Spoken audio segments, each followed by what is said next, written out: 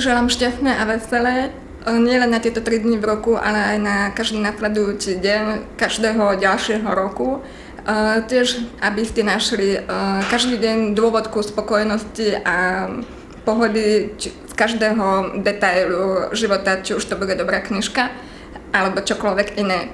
A tiež um, aby veľa, veľa šťastička, zdravička, ktoré nech sa vás drží ako dobre písatý kriešť.